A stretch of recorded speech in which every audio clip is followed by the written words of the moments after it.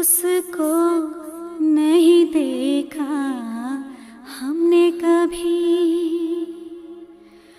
पर इसकी ज़रूरत क्या होगी? उसको नहीं देखा, हमने कभी। पर इसकी ज़रूरत